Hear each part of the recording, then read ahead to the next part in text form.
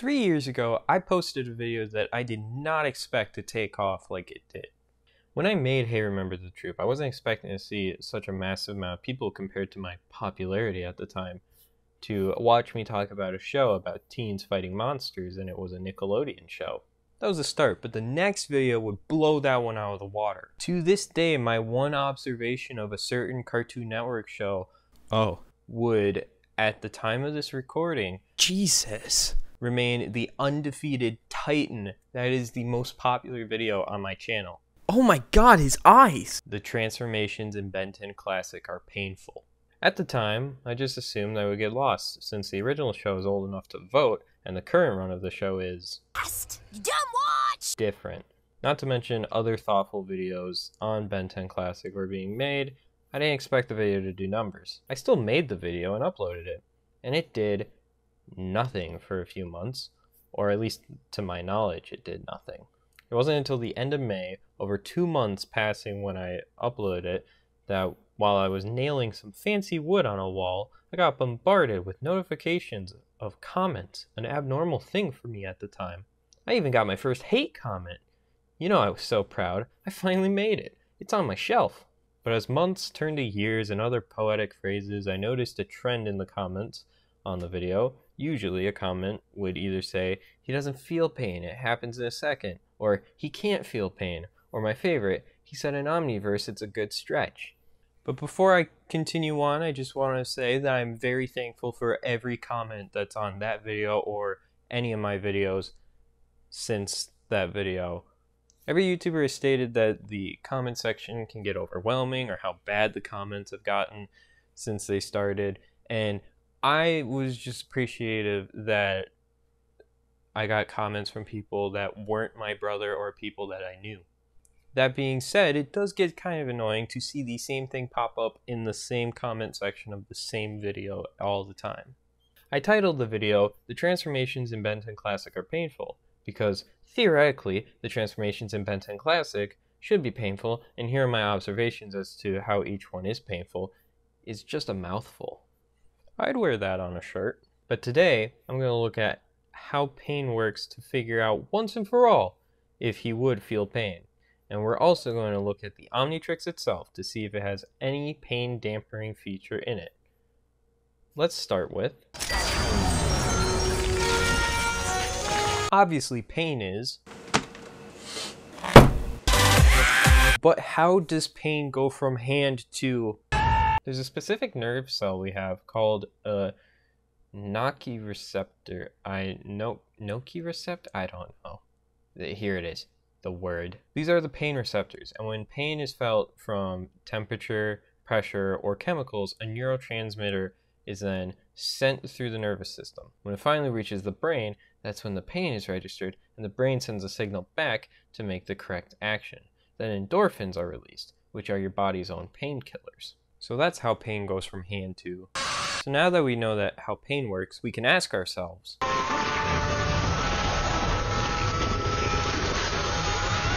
One of the arguments in my comment section about how Ben doesn't feel pain is that the transformations take up to or less than a second.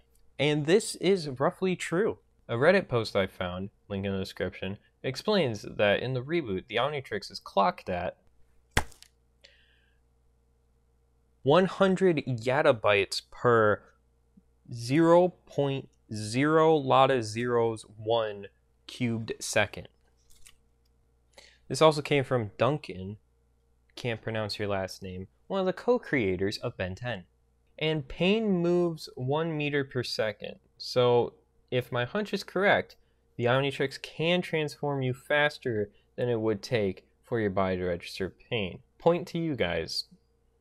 But the Reddit post also explains that this is the speed of the reboot Omnitrix, so maybe the original classic series Omnitrix could have been faster or as fast, or even slower. We can't really say for sure.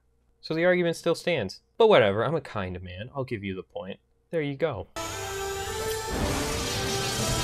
So I've been scouring the internet for Omnitrix lore because I'm too shy to tweet at Man of Action. I'm awkward, okay? The best source I found is the Ben 10 wiki entry on the original prototype Omnitrix. I read through all the features in the wiki. There's no feature that states that the Omnitrix dampens pain or just gets rid of pain whatsoever. The Omnitrix has a GPS and is able to create a holographic map, but nothing at the moment says it prevents pain. You can even look at the features section for yourself. Like to transform?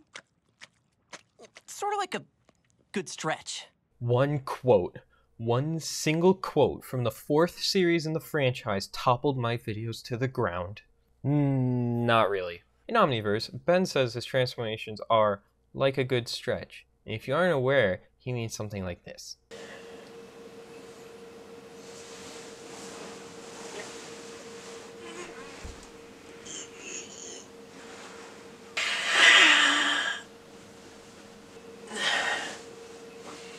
But let me ask you this. Imagine you don't work out and you decide to do a full on workout. You're going to feel really bad and sore and achy and you're going to feel a lot of pain. Now imagine six years from then, you do the same workout. It's not going to feel as bad. You're going to actually feel fine. Maybe even like a good stretch. This could be the same thing for the Omnitrix transformation after doing it for quite a while, even with the gap between 11 to 15, yeah, you too would probably get used to the pain and actually tolerate it. So this is editing Justin here. I just came across the Wikipedia page for the transformation sequences while looking for the clip of Ben saying that feels like a good stretch. According to Duncan, it says the nature of the transformations in the original series were intentionally made to look very painful. They were meant to seem very painful, as it says on the Wikipedia page. Uh, even if Ben says that it felt like a good stretch, conservatively, with the Ultimatrix, Ben felt discomfort when utilizing the ultimate forms. So it kind of does fit my logic of him feeling pain in the original series and him feeling it as a good stretch in Omniverse.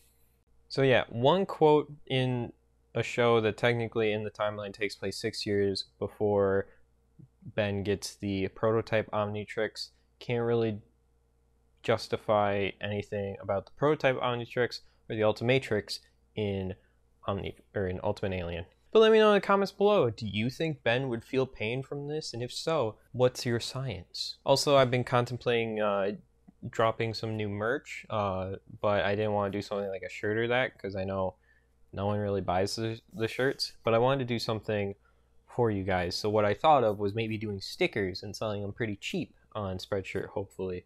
I don't have any sticker designs yet. Well, I have designs, but I don't have any to sell at the moment. But uh, I know one of them is going to be the first ever, or the, you know, the thumbnail from the first transformations are painful video.